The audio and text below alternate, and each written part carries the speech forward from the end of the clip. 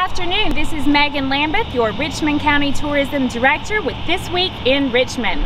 We are downtown Rockingham at the old Food King parking lot where on Monday, September 13th, the first Downtown Get Down sponsored by Richmond County Chamber of Commerce in partnership with the City of Rockingham, food trucks will fill this parking lot at 5 o'clock. The cruise in starts and live music sponsored by Arts Richmond will be Jonathan Robinson.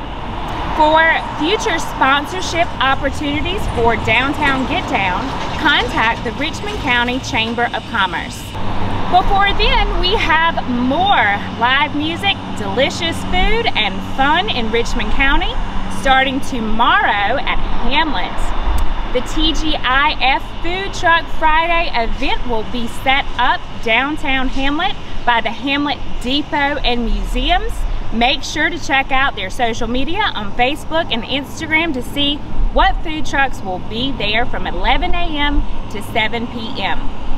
Live music will be in downtown Rockingham at Hudson Brothers starting at 8 p.m.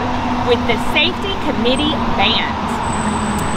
Saturday, Eurofest will be at Rockingham Dragway and that night, more live music at Double Vision starting at 10 p.m.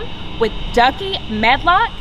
All active duty, military, and veterans are welcome to come and can enter for free.